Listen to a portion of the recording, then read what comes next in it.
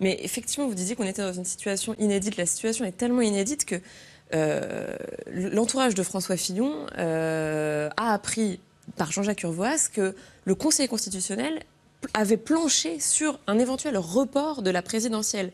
Au, cas où euh, le candidat de la droite était empêché. C'est dire quand même le, côté historique de, la situation. Il en a été question. Il y a un point amusant d'ailleurs.